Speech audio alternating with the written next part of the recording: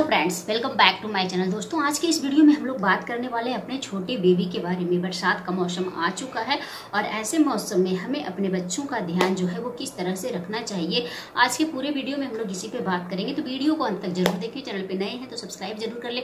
साथ में बेलाइकन को दबाकर ऑल पर ज़रूर क्लिक कर ले ताकि मेरे सारे आने वाले वीडियो का नोटिफिकेशन आपको मिल सके। तो चलिए वीडियो स्टार्ट करते हैं। तो होता क्या है कि जब भी बरसात का मौसम आता है तो बरसात का मौसम जो है आता है, वो तो बहुत सारी बीमारियों को लेकर के आता है। तो खास करके बच्चों को, छोटा बच्चा जो होता है छः महीने से छोटे बच्चे जो हैं तो उनके लिए जो बरसात का मौसम होता है, वो काफ़ी ये होता है। तो बरसात के मौसम में हमें अपने बच्चों का ख्याल किस तरह से रखना चाहिए? क्योंकि इस मौसम में बीमारी होने का खतरा जो ज़्यादा रहता है इन्फेक्शन होने का ज़्यादा होता है, मच्छर बढ़ जाता है तो हर चीज़ जो है वो खाना जो जल्दी हो जाए वो खराब हो जाता है। दूध अगर रखते हैं तो वो जल्दी खराब होता है। कोई भी चीज़ जो है इस मौसम में जल्दी खराब हो जाता है। साथ में इम्यूडिटी भी बहुत रहती है तो पसीना भी बहुत चलता है, चिपचिपापन भी बहुत होता है। तो बहुत सारी चीज़ें जो है बरसात के मौसम में होती है। तो हमें अपने छोटे बच्चे का ध्यान बरसात के मौसम में किस तरह से रखना चाहिए, आज के पूरे वीडियो में हम लोग बात करने वाले हैं। तो सबसे पहली चीज़ है, बहुत सारे लोग सोचते हैं बरसात का मौसम है तो हमें बच्चे को नहीं नहलाएँगे, बच्चे को ठंड नहीं लग जाएगी। नहीं, बरसात के मौसम में भी आपके अपने अपने बच्चे को डेली नहलाना है। हाँ अगर मौसम मतलब दिन थोड़ा ठंडा है तो आप बच्चे को कंप्लीट बात देने के बजाय स्पंज बात दे सकते हैं, यानी आपको पूरा बच्चे को सर से नहीं नहलाना है। आप बच्चे को केवल स्पंज बात देते, दे सकते हैं, यानी कपड़ा कपड़ा चेंज करके बच्चे के शरीर को अच्छे से पोछते साफ़ कपड़े से तो बच्चा जो है फ्रेश फील करेगा, क्योंकि बच्चा को जब सफ़ाई नहीं करेंगे, बच्चे को नहलाएँगे नहीं तो क्या होगा? सब जब हम बच्चे की मालिश करते हैं तो बच्चे का शरीर जो है पूरा चिपचिपा हो जाता है। तो बच्चा जो है अनकंफर्टेबल फील करता है और बच्चा रोता भी है। तो बच्चे की साफ़ सफ़ाई जो है, वो हम लोगों को ज़रूर करनी चाहिए। हाइजीन जो है हम लोगों को मेंटेन करके रखना चाहिए। तो कंप्लीट बात जिस दिन दिन जो है गर्म रहता है तो हम लोगों को बच्चे को कंप्लीट बात ज़रूर देना चाहिए। और जिस दिन बाद दिन जो है वो ठंडा रहता है तो हम अपने बच्चे को स्पंज बात दे सकते हैं। यानी मतलब सर के अलावा नीचे पूरे मतलब कंधे से बच्चे को अच्छे से नहला सकते हैं। या फिर शरीर को पूरा अच्छे से पोछ सकते हैं और हमेशा बच्चे को नहलाने के लिए, जब बच्चा छोटा हो, एक से डेढ़ साल तक के बच्चे को हमेशा नहलाने के लिए आप गुनगुने पानी का ही यूज़ करें, क्योंकि नॉर्मल वाटर भी बच्चे को ठंडा लगता है। तो हमेशा बच्चे के लिए गुनगुने पानी का ही यूज़ करें। ये तो हो गया पहला। दूसरा चीज़ है, बच्चे को हम लोग अगर ब्रेस्ट फीडिंग करवाते हैं तो माँ को है जो अपना खास ख्याल रखना होगा, क्योंकि माँ को जब इन्फेक्शन होगा तो बच्चे, माँ से बच्चे में ही जाएगा। तो बच्चे, माँ को अपना ध्यान जो है, इस मौसम में थोड़ा ज़्यादा रखना होता है। सर्दी, जुकाम, माँ का, माँ को न हो, ये हम लोगों को ध्यान रखना है। माँ का अगर इम्यूनिटी स्ट्रांग होगा तो बच्चे की भी इम्यूनिटी स्ट्रांग होगी, बच्चा बीमार नहीं पड़ेगा। तो जो माँ ब्रेस्ट फीडिंग करवाती है, उन्हें अपना थोड़ा ज़्यादा ख्याल रखना चाहिए। नेक्स्ट है अगर बच्चा आपका बाहर का दूध पीता है, यानी बोतल से पीता है या फिर चम्मच से पीता है तो उसमें भी आपको थोड़ा ध्यान रखने की ज़रूरत है। अगर आपका बच्चा बोतल से बोतल से दूध पीता है तो दिन में एटलीस्ट एक बार आप जो भी जिस बोतल से बच्चे को दूध पिलाते हैं, उसे अच्छे से गर्म पानी में 10 से 15 मिनट तक बॉयल ज़रूर करें। और ध्यान रखें कि बच्चा जो बोतल यूज़ करते हैं, वो ज़्यादा पुराना ना हो। मतलब तीन से चार महीने तक जो प्लास्टिक का बोतल अगर आप यूज़ करते हैं तो वो तीन से चार महीने के बाद जो है वो चेंज कर देना चाहिए। क्योंकि उसमें जो है इन्फेक्शन होने का चांस जो होता है बच्चे को ज़्यादा होता है। अगर लगातार कंटिन्यू एक ही बोतल आप यूज़ करेंगे तो बोतल से जो है वो बहुत अजीब सी स्मेल आने लगती है। और बच्चा को बीमार होने का जो है खतरा देखिएगा, ज़्यादा हो जाए बच्चे को वोमिटिंग हो सकता है, बच्चे का जो है पेट खराब हो जाता है तो बोतल जो हमेशा तीन चार महीने पे ज़रूर चेंज करें। और बरसात के मौसम में हमेशा दो से तीन बोतल आप ज़रूर रखें अगर प्लास्टिक का यूज़ करते हैं या फिर स्टील का भी यूज़ करते हैं। तो स्टील का बोतल जो होता है सेफ़ होता है। लेकिन बहुत लोग स्टील का नहीं यूज़ करके प्लास्टिक का ही यूज़ करते हैं। तो प्लास्टिक का भी अगर बोतल यूज़ करते हैं तो आपको दोनों ये हाइजीन मेंटेन करके रखना है। और जितनी बार आप बच्चे को दूध पिलाते हैं एक दिन पर डे उसको बॉयल ज़रूर करना है। अच्छे से चार पाँच मिनट तक ज़रूर पानी में बॉयल करना है।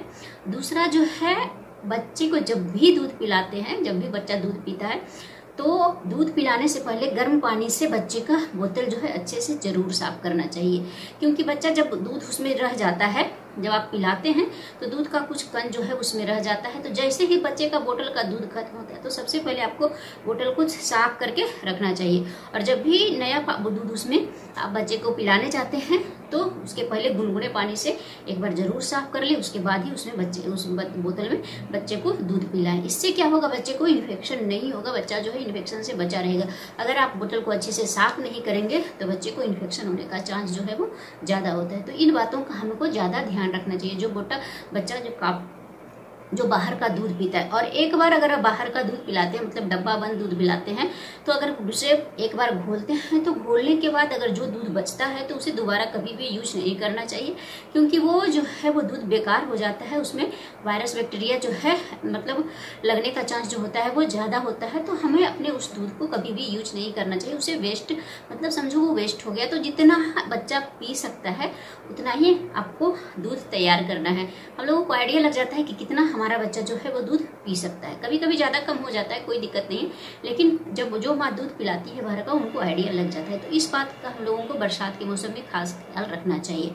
नेक्स्ट है बच्चे की मालिश को लेकर के। बहुत लोग सोचते हैं, बच्चा बरसात के मौसम में हमें अपने बच्चे की मालिश नहीं करनी चाहिए। क्योंकि बरसात के मौसम में शरीर जो होता है, वो चिपचिपा हो जाता है। नहीं, बरसात के मौसम में भी आपको अपने बच्चे की मालिश तीन से चार बार ज़रूर करनी चाहिए। और जब मौसम ठंडा हो तो आप कोशिश करें कि बच्चे को हल्का जो है सरसों का तेल से मालिश कर सकते हैं। वैसे नारियल का तेल जो होता है, हर किसी के लिए, हर मौसम में जो है वो सूट करता है, हर स्किन को सूट करता है। तो नारियल के तेल से आप आराम से बच्चे की मालिश कर सकते हैं और तीन से चार बार बच्चे की मालिश ज़रूर करें। नेक्स्ट है बच्चे को कपड़े को लेकर के। बरसात के मौसम में जो है कपड़ा जो है वो बहुत इंपॉर्टेंट होता है, क्योंकि मौसम में है जो अचानक से सडनली चेंज होता है, कभी ठंडा लगता है, कभी गर्मी लगता है तो हमें बरसात के मौसम में बच्चे के लिए हर एक तरह के कपड़े रखना चाहिए, हर एक कंडीशन के लिए हम लोगों को तैयार रहना चाहिए कि कब बच्चे को ठंड लग जाती है तो फुल स्लीप बनाना है, कब बच्चे को गर्मी लग रही है तो हाफ़ स्लीप बनाना है, इन सारी बातों का हम लोगों को अच्छे से ध्यान रखना है। अगर नेक्स्ट है, अगर आपका बच्चा थोड़ा बहुत खाता है तो बरसात के मौसम में हमें बच्चे को रखा हुआ खाना कभी भी बाहर रखा हुआ तो एटलीस्ट देना ही नहीं चाहिए। आप अगर बच, गर्म जब बच्चे को कोशिश करें कि गर्म बनाकर बच्चे को गर्म ही खिलाएँ। अगर ऐसा पॉसिबल नहीं होता है तो बच्चे को जब खाना खिला देते हैं, बच्चे का खाना बच जाता है तो उसे फ्रिज में अच्छे से पैक करके एयर टाइट डब्बे में रख दे फ्रिज में। जब बच्चे के लिए ज़रूरत हो तो उसे हल्का अच्छा से गर्म करके आप बच्चे को दे सकते हैं। लेकिन एक बार जो बनाया हुआ खाना है, वो दो से तीन बार दो से तीन बार यूज़ कर सकते हैं। उससे ज़्यादा आपको यूज़ नहीं करना चाहिए। उससे भी क्या होता है, बच्चे को इन्फेक्शन होने का चांस जो है वो हो सकता है। तो इस तरह से अगर बरसात के मौसम में अपने बच्चे का जो ध्यान रखेंगे तो बच्चा जो है वो कम बीमार पड़ेगा। सबसे इंपॉर्टेंट चीज़ जो मैं डिस्कस करना भूल गई, वो है बच्चे का मतलब मच्छरदानी। बरसात के मौसम आते ही बच्चा मच्छर जो है वो एक्टिव हो जाता है। हर जगह पानी जो जमा रहता है, जिससे मच्छर जो है वो ज़्यादा पनपता है। तो कोशिश करें कि बच्चे को अगर दिन में भी सुलाते हैं या फिर रात में भी सुलाते हैं तो मच्छरदानी का यूज़ ज़रूर करें, क्योंकि बच्चे को मच्छर जब काटता है तो बहुत इचिंग होती है, वहाँ पे लाल चकत्ता हो जाता है। तो बच्चों के लिए मच्छरदानी का यूज़ ज़रूर करें, दिन में सोता हो या फिर रात में भी सोता हो। ऑल आउट का यूज़ कभी भी बच्चों के लिए नहीं आप लोगों को करना चाहिए, जिससे क्या होता है, बच्चे बच्चे को वो काफ़ी हार्म करता है, वो काफ़ी नुकसान पहुंचाता है, उससे अजीब सी गंद निकलती है, गैस निकलती है, जो बच्चे को आपको बीमार कर सकती है। बच्चे का जो फेफड़ा है वो खराब हो सकता है।